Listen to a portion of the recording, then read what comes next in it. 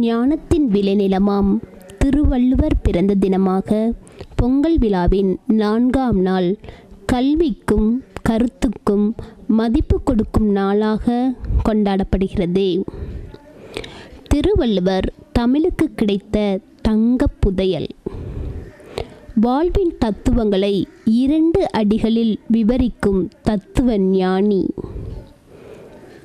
அறம் பொருள் இன்பம் என வகைப்படுத்தி விண்ணரசை எட்டும் வழியை விவரமாக விளக்கும் ஆன்மீகவாதி.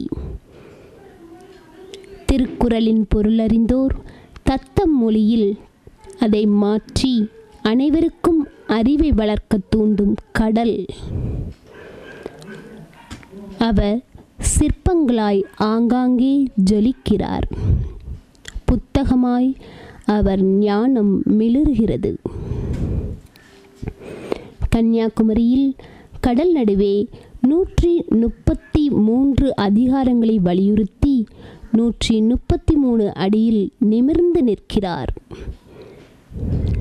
சென்னையில் உள்ள வள்ளுவர் கோட்டத்தில் அவர் எழுதிய திருக்குறள் கல்வெட்டாய் மிளிர்கிறது. இங்குள்ள தூண்களே இல்லாத சுமார் நாலாயிரம் மக்கள் ஒரே நேரத்தில் பங்கேற்கும் அரங்கம் ஆசியாவிலேயே மிகப்பெரியது. கல்லில் செதுக்கிய தேரும் அதை இழுத்துச் செல்லும் யானையின் சிற்பமும் காண்பவர் கண்களை கவரும். மாடியிலுள்ள கோபுரமும் பௌர்ணமி நாளில் அதன் முன்னால் உள்ள தெப்பத் தண்ணீரில் விழும் கோபுர பிம்பமும் சிறப்புமிக்கது.